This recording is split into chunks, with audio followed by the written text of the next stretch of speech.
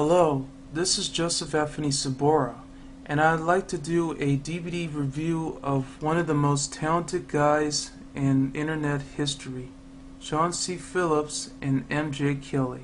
In their first feature-length film after their short film The Cage Girl, it's called Around the Country. This was based on the Around the Town videos that Shawn has been creating ever since he had this channel on his YouTube page. And he's been uploading videos like that ever since, along with his DVD collection and Donna Murph videos. The premise begins as Shawn decided that he is about to move to another state after living in Maryland ever since he was born.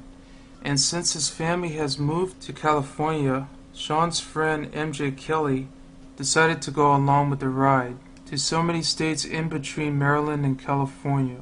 But trouble goes a long way as they appear to so many strange to radical places around the country, including so many hotels they've been staying in while they're on the road, and going to movies and restaurants in which MJ doesn't even like to be filmed eating like he always does.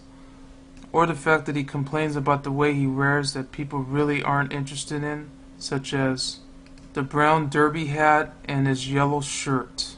But that didn't bother me.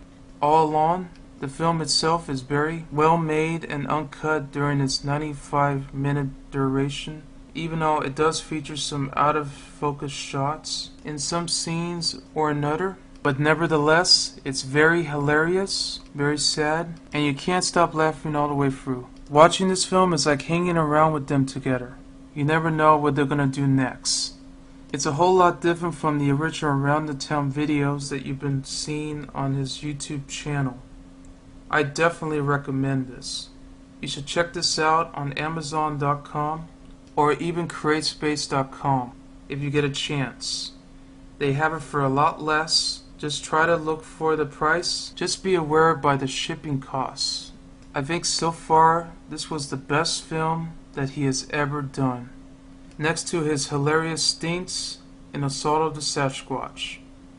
I give this film 4 stars. From the Red Baron 1985 channel,